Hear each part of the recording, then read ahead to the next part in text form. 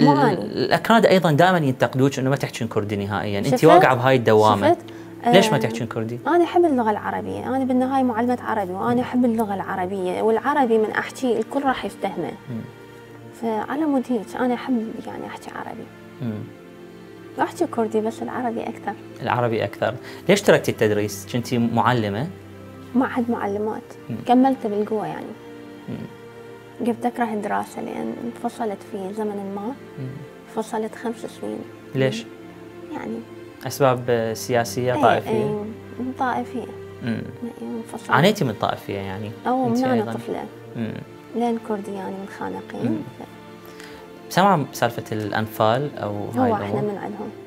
يزعجك هذا الشيء يزعجني هسه ما أعرف ليش باقي هذا الشيء. مثلا مرات مرات قليلة.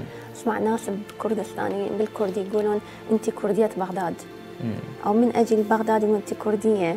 أه، وين أروح؟ ضايعة أحقد أنتي. النص. أم، أكو إشاعة تقول إنه أنت أصلا بالأصل إيرانية. ماكو شيء.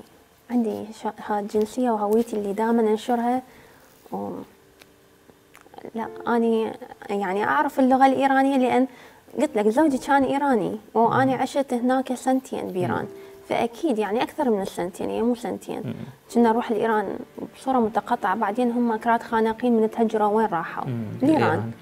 فاني أعرف فارسي يعني مو معناته إنه أنا إيرانية لا أنا عراقية وأفتخر بهذا الشيء.